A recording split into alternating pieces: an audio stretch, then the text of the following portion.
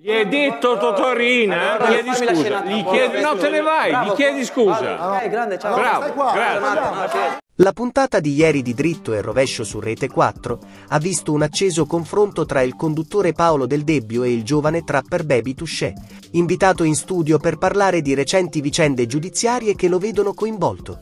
Il trapper è finito al centro di un caso di cronaca, dopo che gli agenti della squadra mobile della questura di Padova hanno effettuato un blitz a casa sua per detenzione abusiva di armi ed esplosivi, scaturito da un videoclip nel quale maneggiava armi da sparo in modo inappropriato. La situazione si è ulteriormente complicata con il sequestro di un macete con lama affilata, mostrato nello stesso video, e con i precedenti per violenza e possesso di armi del trapper. Durante la trasmissione, Baby Touché ha avuto uno scontro con DJ Ringo, accostandolo a Totorina.